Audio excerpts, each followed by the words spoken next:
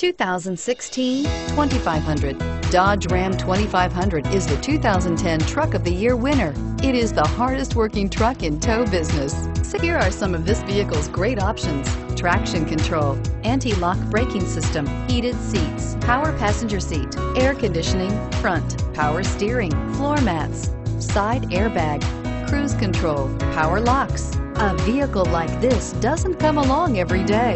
Come in and get it before someone else does.